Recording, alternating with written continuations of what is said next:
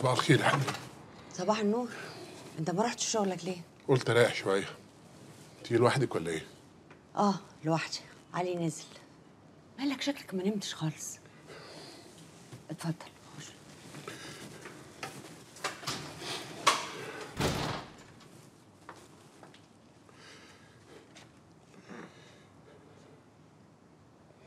في إيه؟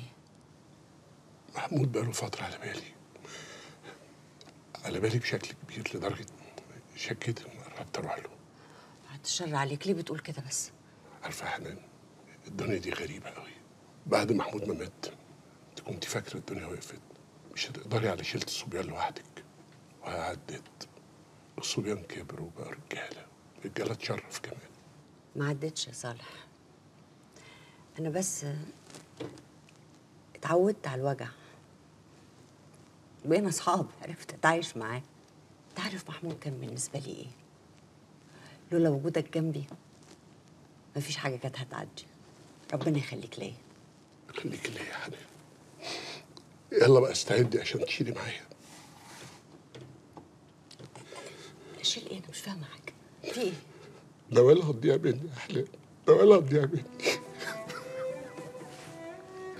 ولا هتضيع أنا هتضيع إزاي بس في إيه؟ في إيه؟ أنا مش فاهمة. حسيت بشوية تعب.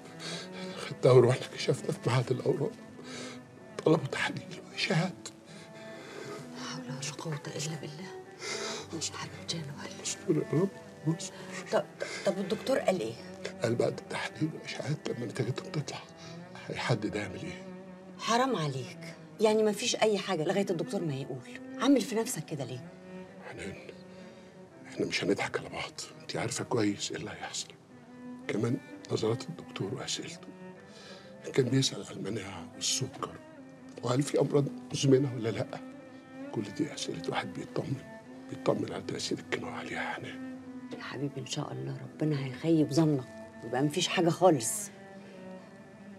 البنات عرفوا حاجة؟ لا يا حنان ما حدش يعرف. وهو تقولي ما تقوليش لحد خالص ولما تشوفيها اتعاملي معاها عادي خالص. هي محلفاني ما اقولش لحد. بس أنا قدامك ما قدرتش ادعي لها ادعي لها ادعي لها